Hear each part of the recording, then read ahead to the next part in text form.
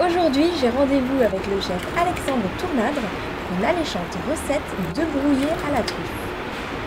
Donc nous allons réaliser une recette euh, qui, sont, va bientôt être de saison, qui sont des œufs brouillés euh, de poule. Alors bien sûr, un œuf est toujours de poule, mais disons que c'est des œufs fermiers. Euh, pour agrémenter la recette, bien sûr, on va, leur mettre des truffes et un petit jus brun et les mouillettes seront faites avec du foie gras, donc ce sera quand même un plat festif. Les œufs, on va les casser avec un, tucker, donc c'est un appareil hein, qui quand on tire, ça a une décharge ici et ça casse et ça casse l'œuf. Voilà. Donc ça décalote l'œuf. Voilà, comme ça. Terminé, voilà, l'œuf est ici. On enlève la petite poche d'air. Voilà. Et l'œuf est cassé. On prendra soin bien sûr de pasteuriser les coquilles d'œuf si on remet les œufs à l'intérieur, les œufs brouillés, parce que bien sûr, il peut y avoir un développement bactériologique, donc en l'occurrence la salmonelle. voilà.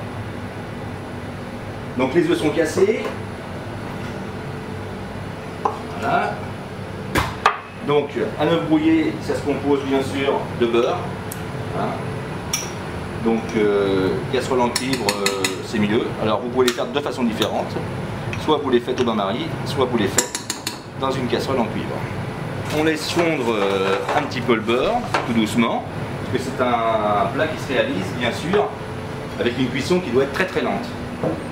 Par ailleurs, dans un cul de poule, un saladé, on va dire, hein, métallique, on casse un petit peu les œufs comme ça, on les bat très légèrement, hein, parce qu'il ne faut pas, bien sûr, ne pas les battre en omelette, parce que la particularité d'un œuf brouillé, c'est que c'est un œuf qui est très peu cuit et qui n'est pas forcément très bien mélangé.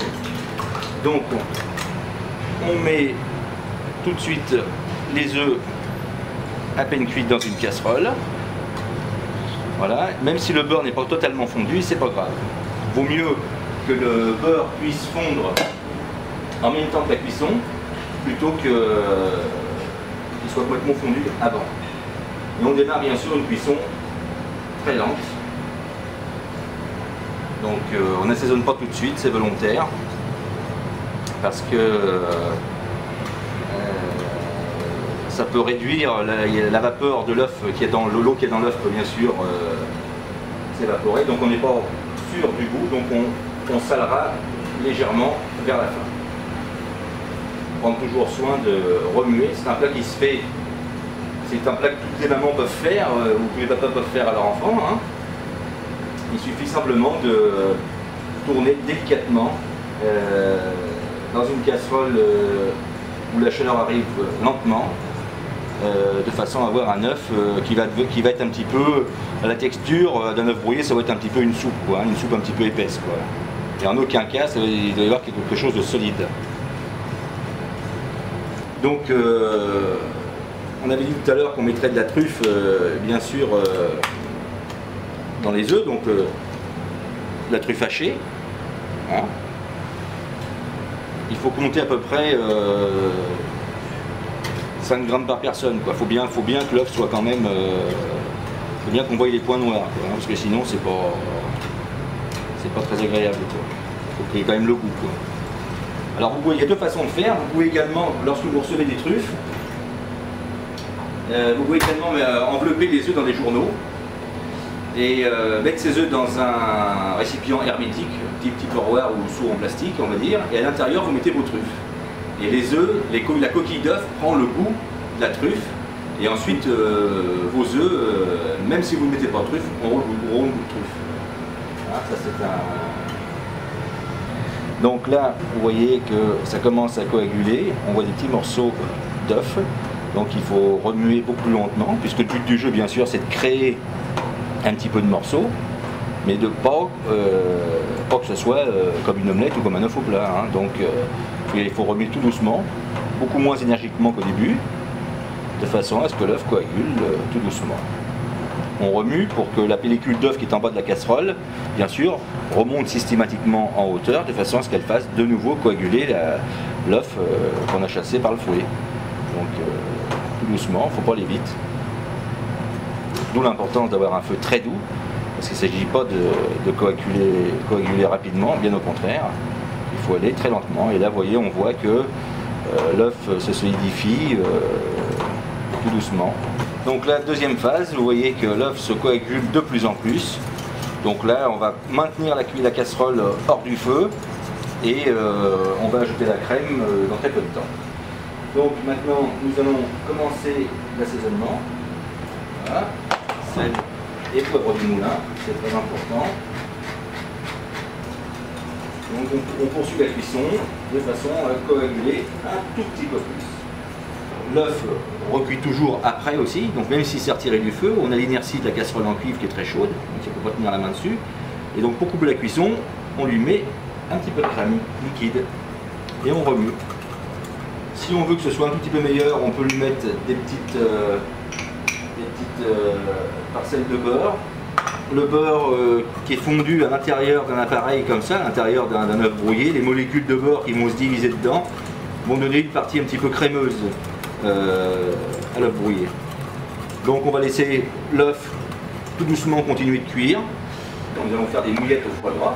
Donc on grille tout simplement du, pain en l'occurrence à la salamande, mais vous, vous le faites chez vous, vous le pain, tout simplement. Notre pain va être grillé, euh, on va tartiner dessus, on va le laisser un petit peu refroidir. On va tartiner dessus du foie gras, simplement. Et ensuite, on va euh, présenter, sur la salle de on va mettre des œufs brouillés, une petite lamelle de truffe. On va lui mettre un petit peu de sauce porto, hein, qui est un jus de veau qui est très très réduit à glace euh, avec un, porto qui est arrivé presque au caramel. Et puis euh, pour donner un, petit goût supplémentaire euh, à l'œuf brouillé, et puis après, eh bonne dégustation. Alors maintenant, bien sûr, eh bien, nous allons remplir nos œufs, donc à la cuillère, tout doucement. On va prendre un petit peu de foie gras on aura bien sûr un petit peu écrasé avant, pour avoir en terrine que vous achetez comme vous voulez. Ensuite, on va tartiner ce pain avec le foie gras pour faire nos mouillettes. Voilà, donc euh, plutôt que prendre des toasts pour le foie gras, moi je préfère prendre un bon pain. On a une texture en bouche qui est différente et on a une, saveur euh, qui est différente d'un pain de mie. Donc, voilà, on va tailler pour chacun trois petites mouillettes. Ensuite, on va prendre notre assiette de présentation. Voilà. On va mettre nos œufs. On va donc mettre nos mouillettes ici, en diagonale. On va donc casser, on va dire un petit peu la symétrie. Maintenant, on va mettre un petit peu de sauce porto sur les œufs. Il faut pas tout recouvrir l'œuf brouillé parce que sinon on voit plus le jaune. Donc c'est bien quand il y a un petit peu de, de sauce comme ça. Et dessus, on va lui mettre une petite euh, lamelle de truffe. Voilà. Eh bien, Bonne dégustation.